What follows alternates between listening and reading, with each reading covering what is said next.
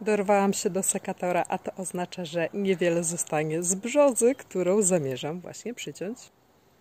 To jest brzoza Yangi i generalnie zamierzam ją tak ciąć, żeby te gałązki były takie do góry. Żeby gałązka się wznosiła, obcinam to, co gnieją ku dołowi. Można uzyskać naprawdę ciekawy efekt.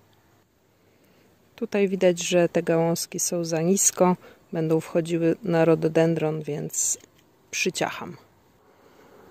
To, co zyskujemy, to jest bardziej naturalistyczny pokrój, niż jakbyśmy przycięli, tak jak w zieleni miejskiej, na równo. Nie jest to metoda bezobsługowa, każdą gałązkę tutaj trzeba wziąć do ręki.